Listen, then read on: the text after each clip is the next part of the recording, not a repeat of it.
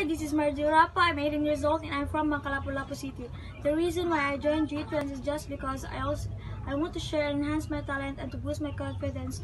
I also want to make my parents proud and inspire other people. Thank you. Cause there is no guarantee that this life is easy.